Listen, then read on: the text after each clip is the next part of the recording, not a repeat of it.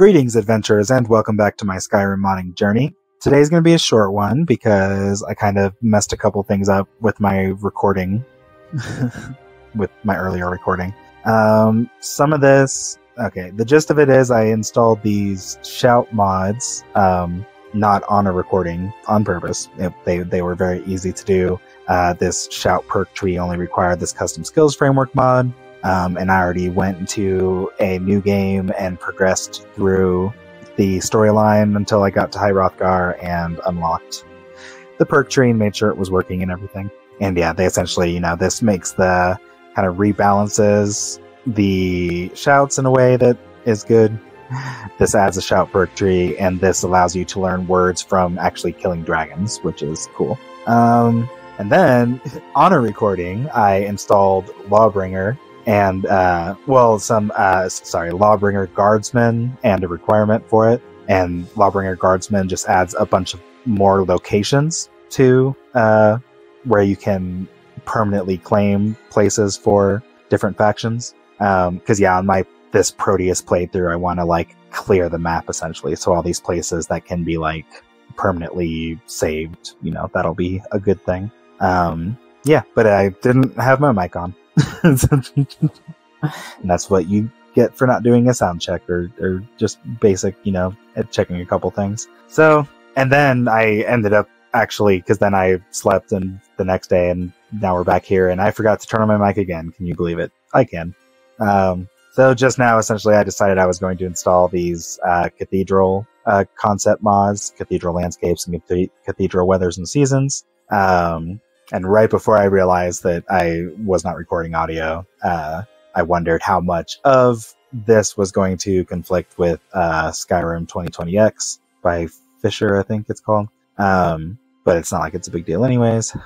Brown tundra, green tundra. Oh man, that's the thing. We're north. I guess I like brown tundra. I haven't blended those yet. No suggestion. Bridges. Yeah, I think I want landscape to win generally. Oh, and maybe it's just because it's it's a preference. There's no suggestion because it's just whichever one you you want to win. Yeah, we're gonna see what the cathedral one looks like since we installed it. Everything. All right, that's all the file conflicts. Uh, before we open that up, I guess the only other thing to extend the length of this video a little bit longer is I finally found uh, a mod called Enemy Releveler. This is kind of or this is the main thing I was after as far as looking to de-level the game. And on my part, I guess that was just an improper use of terminology.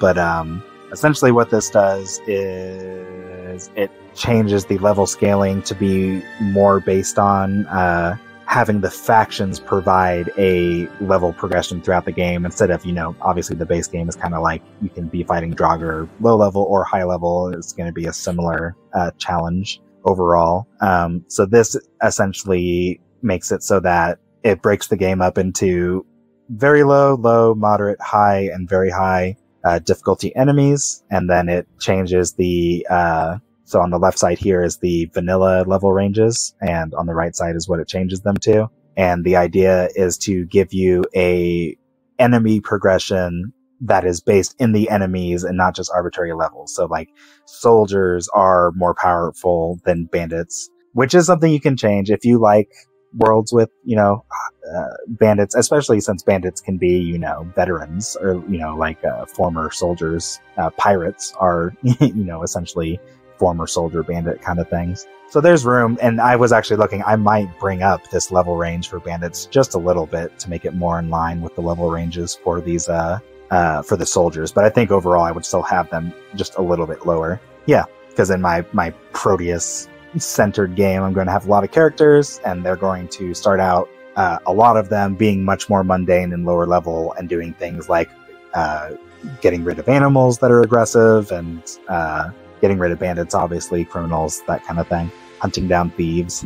So yeah, this was the main thing. I'm not sure if I even need true unleveled Skyrim anymore. Um, the nice thing about it is it is another uh, with the synthesis patcher thing. It's very compatible and stuff. So if it has a feature that I decide I want that this doesn't have, I can add it. But this is the main thing I wanted. So uh, in an upcoming video, I'm going to be going ahead and getting Proteus out of the way, uh, partially because it has a bunch of uh, requirements that I need to add to the game anyways, like race menu.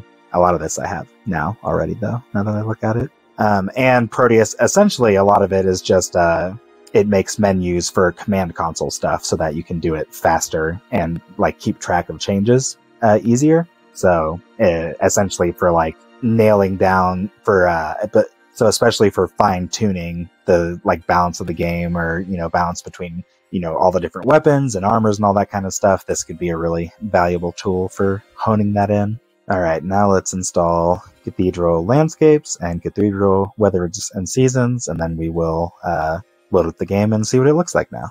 Oh, yeah we'll start out in riverwood and run up to whiterun and see how it looks. Of course it's raining.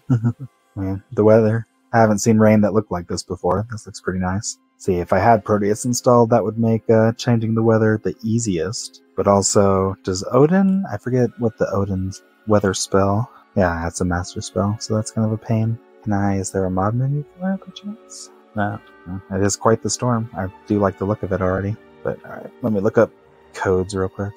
Set weather. That was SW, and then whatever the weather ID is. 10 Echo 1 Foxtrot 2.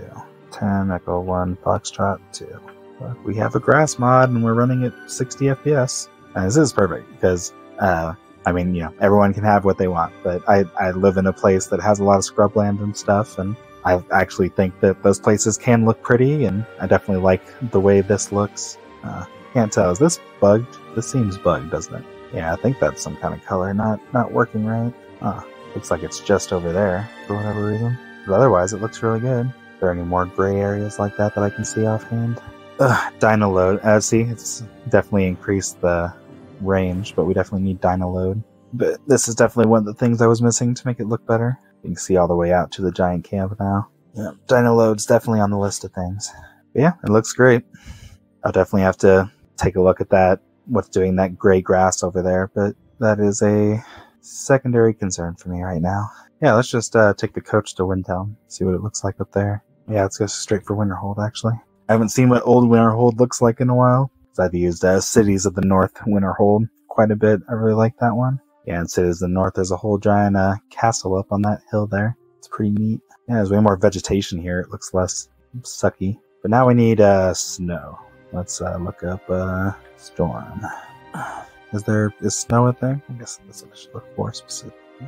Light snow, heavy blizzard. Charlie 8221. Alright, I've put in the code. We're waiting for clouds to roll in anytime. Heyo. Man, it takes its time, but it's coming slowly. Cool, I like how slow that was, actually. That's pretty neat. I like, I like it a lot. It's just slowly transitioning from clear to blizzard. What time is it? Two in the afternoon. It seems so dark now. Yeah, I can see everything so much clearer with all that, like, vanilla fog gone. It's great. That is, like, the main thing I was looking to get rid of. Let's, uh, I guess I want to see what Solitude looks like too. Oh, I didn't check off the stables to Solitude. Probably dark by the time we get there. Yep, dark, dark, dark. Ooh, I like that sky. Have I seen that sky before, or is that part of the one of the cathedral things? That's pretty cool. Partly or mostly cloudy day. Just see so much further. Yeah, I can definitely tell how you would want DynDOLOD with stuff like this. Uh, I don't see any gray grass here. I think that's enough uh, looking around. I like the look of it. We've got performance friendly grass. I'm running at 60 FPS in my 3060. Things are looking good. All right. Well, thank you guys so much for watching. If you like this video, please like and subscribe, and I will see you next time.